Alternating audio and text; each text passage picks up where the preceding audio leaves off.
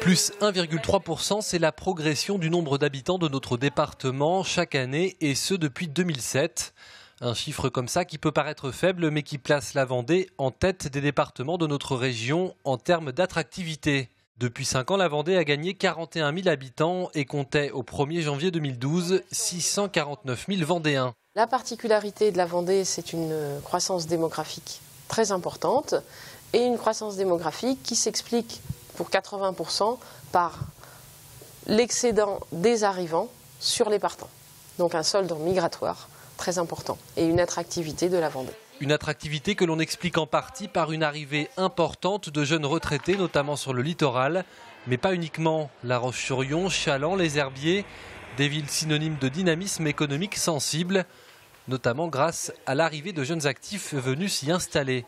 Il y a néanmoins euh, de populations plus jeunes, notamment des familles avec enfants, euh, d'actifs, qui viennent travailler dans des zones d'emploi euh, comme La Roche-sur-Yon, Montaigu, les Herbiers, des gens qui, au nord de la Vendée, peuvent travailler également dans le bassin d'emploi de, Nantes.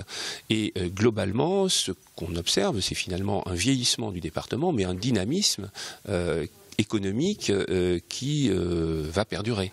Autre enseignement concernant les familles, eh bien, les Pays de la Loire sont la troisième région comptant la plus forte proportion de familles nombreuses, avec trois enfants ou plus.